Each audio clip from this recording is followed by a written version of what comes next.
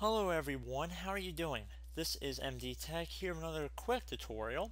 In today's video I'm going to show you guys how to resolve the Mozilla Firefox error that says that the web page timed out, the server took too long to respond. So this should be a fairly quick tutorial and we're going to jump right into it.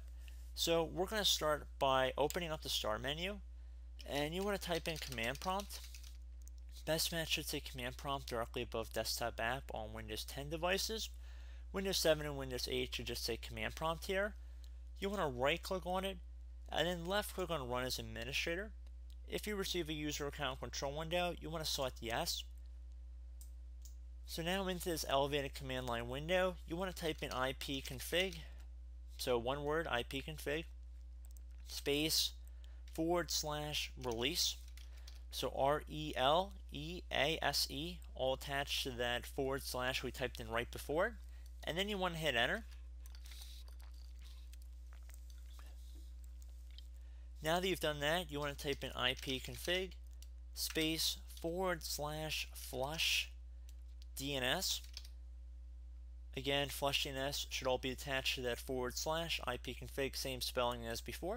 Go ahead and hit enter. Should say successfully flush the DNS resolver cache.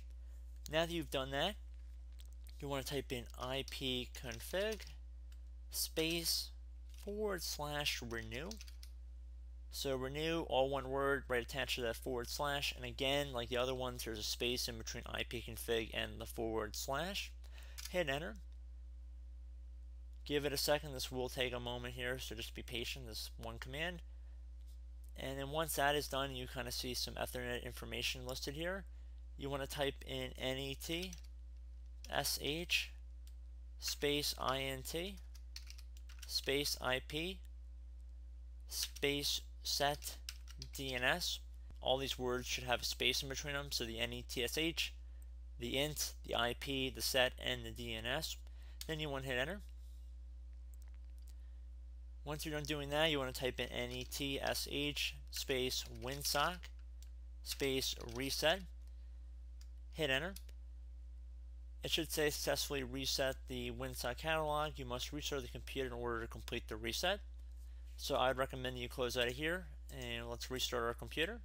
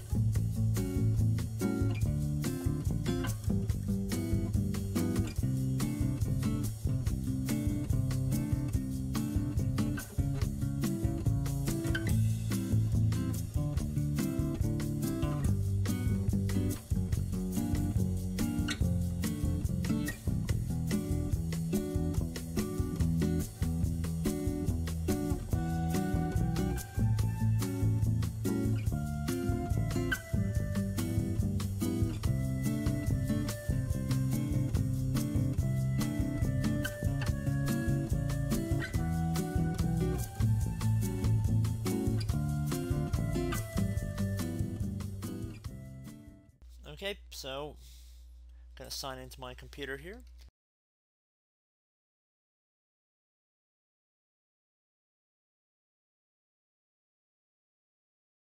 Okay, so once we are logged back into Windows, you want to head back to the Start button by left clicking on it one time.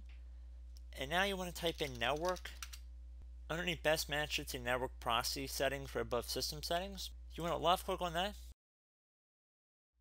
on Windows 10, you want to go up to the Ethernet tab or Wi-Fi if you're using Wi-Fi, and you want to change adapter options.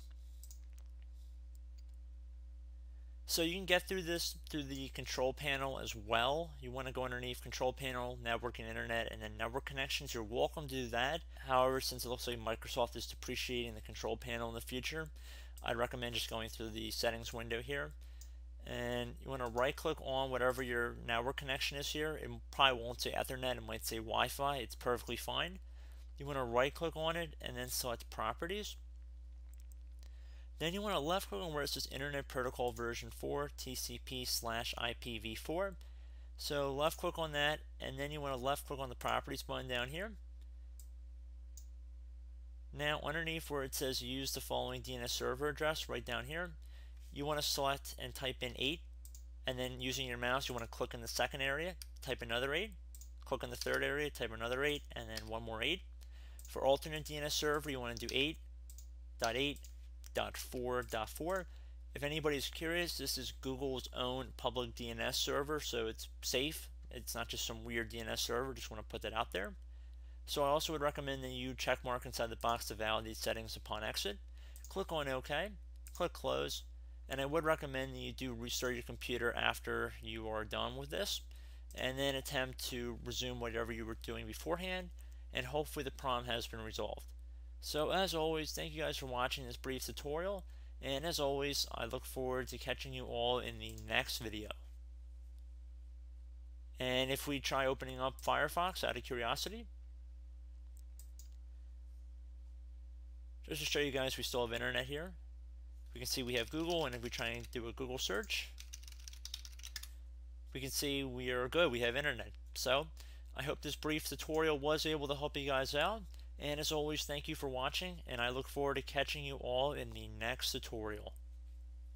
Goodbye.